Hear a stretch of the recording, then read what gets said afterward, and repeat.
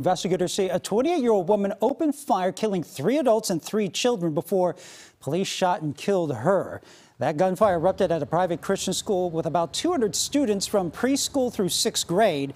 Police say the woman was armed with two assault-type rifles and a pistol when she snuck in through a side entrance.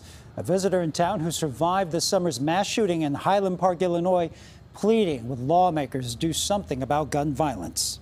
How is this still happening? How are our children still dying and why are we failing them?